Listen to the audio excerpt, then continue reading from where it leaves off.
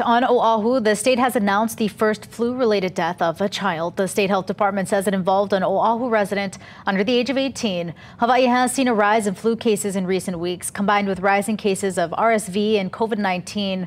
Last flu season, the state recorded four pediatric deaths.